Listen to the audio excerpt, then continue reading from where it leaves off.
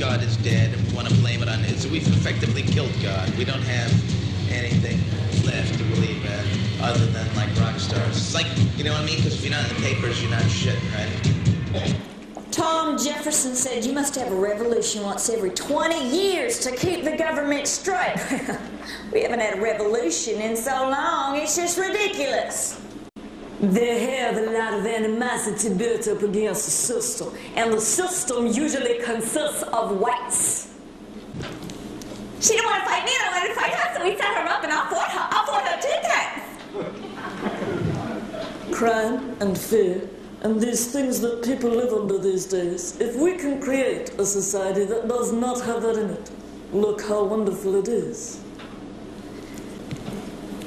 We are now living in the end times and the times of tribulation. That's why there's so much trouble. You got TV, you got cable, you're all right. I watch it every afternoon.